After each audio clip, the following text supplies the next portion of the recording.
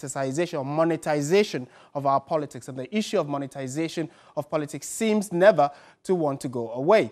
The, uh, both the uh, parties uh, who, who've led this country in the last few years, the NDC and the NPP, have, after every internal elections, uh, been accused, or they actually counter-accuse each other, of uh, vote buying and using money to induce people to vote for them. On June 20, for instance, last Saturday, the NPP went to the polls uh, to hold its parliamentary primaries, and there have been accusations and counter, uh, accusations regarding that. Let's try and put this into perspective and find out whether or not we can really ever be able to deal decisively with this as a country. George Osei Bimpe is a country director for SEND Ghana. He's joined us via Skype. Good afternoon, Mr. Bimpe, and thank you for your time this afternoon. Is there ever a way we can deal with this canker decisively? Well, first of all, um, a good way to deal about it is, is for the political parties themselves to show a commitment to, um, as it were, stop it. At the end of the day, what we need to know is that is this, this country that we are doing a great disservice? Because we are not getting or we are we are going to have a situation where we will not get into parliament. The people who are nationalistic who are interested in making progressive laws that will propel the development of, of this country. So first of all that commitment must come from the political parties.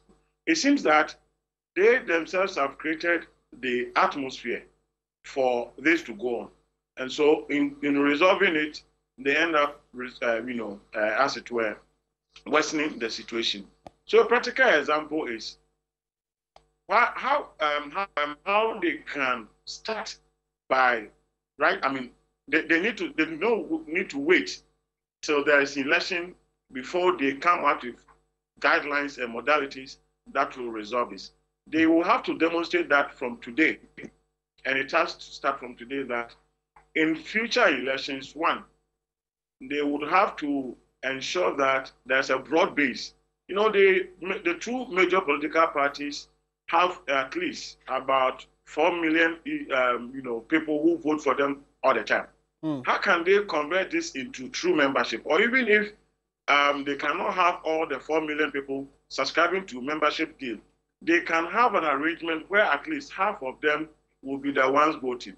I do recall that the NDC, for example, made an attempt in the last election to use a broad-based uh, electoral system, uh, you know, kind of that that allowed many of their members to elect. They abandoned it somehow, but the question is that if there were problems, you, they, they should have tackled those problems rather than to abandon it entirely. And for me, that was quite unfortunate.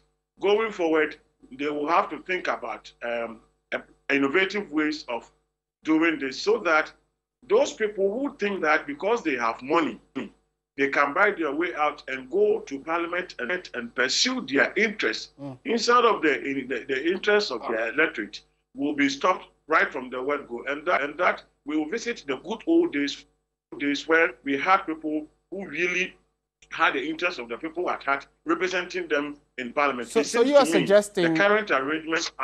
So, per my understanding, you are suggesting I'm, I'm, that, for instance, that we should move away from the delegate system, where you have a regular number of people that you can easily meet and dole out cash to, to a broader base where you have in excess of maybe uh, two million people having to come together to elect it. That will be that will make it more difficult for people to dash money or give out money. Is, is that what you're suggesting?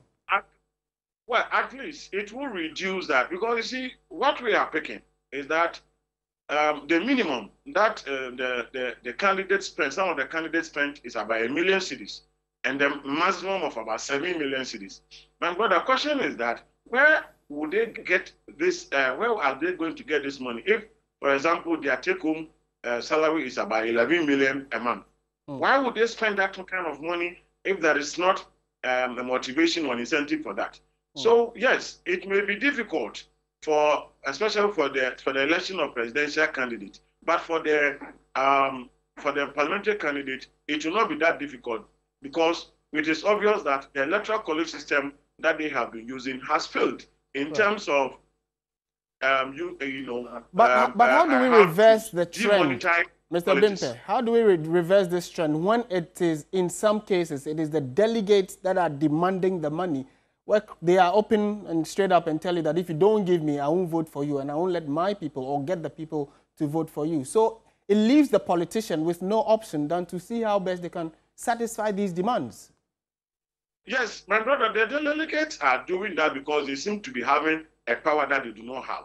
They themselves are not representing themselves. That is one thing that we forget to uh, emphasize that these guys are not representing themselves, but they represent the people who voted them into executive position that mandate them to select, um, um, in, I mean, parliamentary candidate and presidential candidate. Mm. Question is that have they consulted or did they consult their members before they vo voted? No, because they see it as um, a harvest season.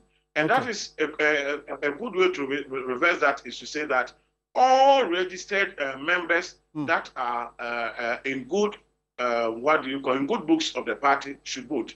Okay. Yes, there are, there, there are potentials for some people to infiltrate the camps of the political parties and do whatever. The, okay. the, the, that is why they must think outside the box and put in place a system that will check um, that situation. And that's why I was saying that we, they do not need to wait before the, uh, I mean, uh, they do not need to wait for the time for election of candidates before they do this. All right. Thank you, Mr. Bimpe. For... Yeah, I mean, just to the time to, to, to, to, to, to do that because at the end of the day, we are going to end up having chaff in parliament that do not okay. represent the interests of the people. Thank you so much uh, for sharing your thoughts with us. Judge uh, Osei Bimpe is country director for SEND Ghana. What are your thoughts on